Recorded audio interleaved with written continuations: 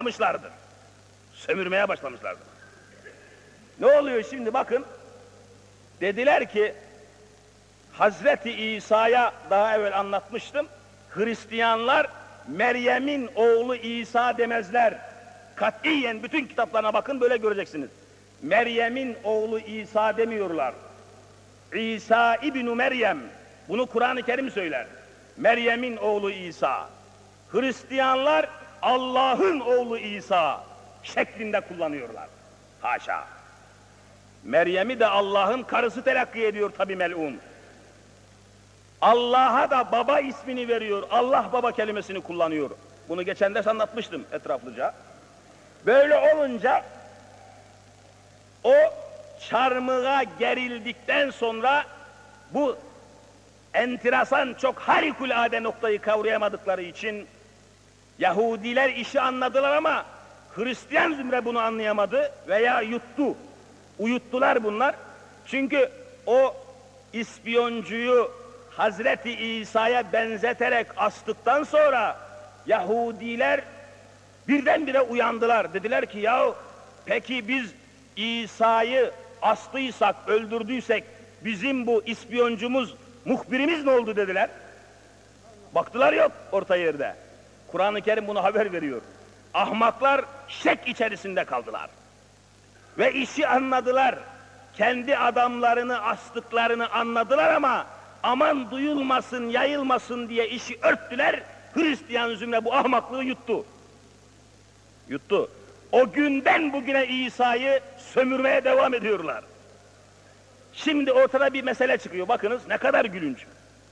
Dediler ki yahu biz dediler İsa'ya Allah'ın oğlu dedik. Hiç Allah kendi oğlunu astırır mı? Bakın şimdi nereye geliyor. Hiç Allah kendi oğlunu astırır mı? Astırmaz.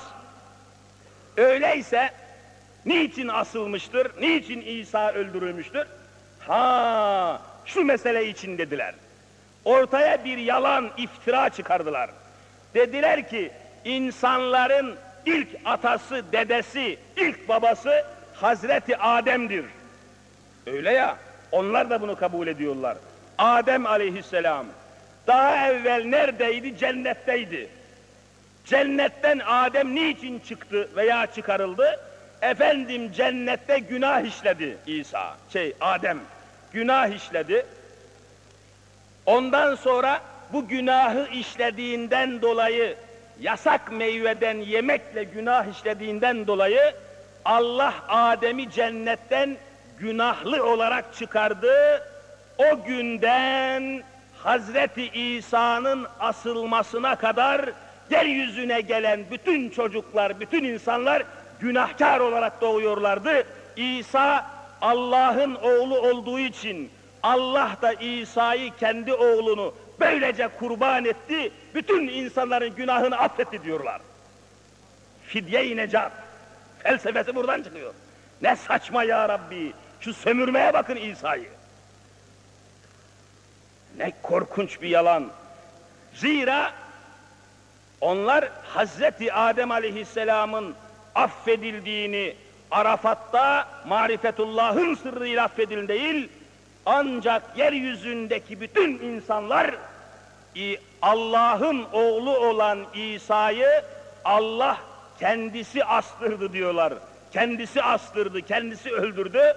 Böylece yeryüzü insanlarının günahlarının bir fidyesi, bir karşılığı olarak kendi oğlunu Allah kurban etti.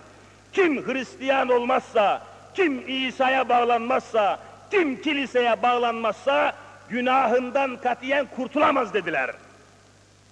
Halen şimdi Yahova şahitlerinin dağıttığı bir takım saçma, yalan, iftira dolu, Allah'a yakışmayan iftiralarla dop dolu olan o küçük kitaplara, broşürlere bakın, aynı şeyi devam ettiriyorlar. İsa'yı sömürüyor hainler, zalimler. Hazreti İsa bunları reddediyor, kabul etmiyor.